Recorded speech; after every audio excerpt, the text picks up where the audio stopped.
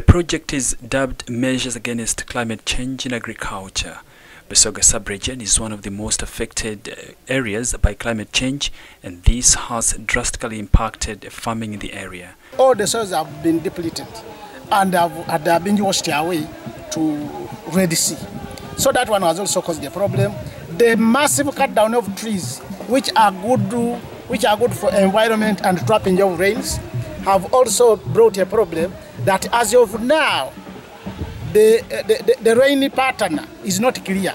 Because by now we would be having the rain, but it's just trying to start off.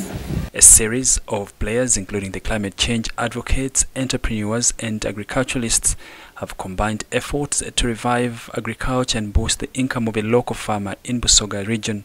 The soils in Busoga had deteriorated, so we are going to be teaching trainers, or we are going to be training trainers who are later going to be going back to the chiefdoms and train our female farmers or those projects which we've chosen.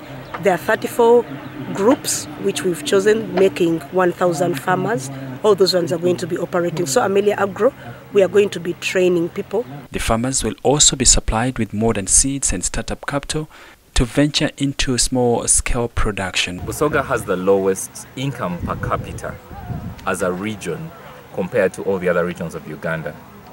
Yet Busoga is very blessed with amazing natural resources that only need only need uh, the implementation of regenerative agriculture to get them back to the level when where Busoga can become a, a regional uh, rather a national food basket. Despite government earmarking sugarcane as one of the 14 strategic cash crops, it has not really transformed livelihoods and household incomes of the farmers who are commercially engaged in it, mostly in Busoga.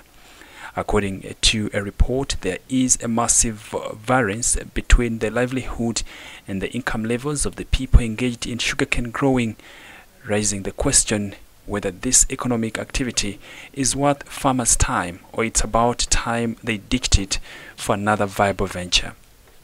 Story by Ivan Luega for the news.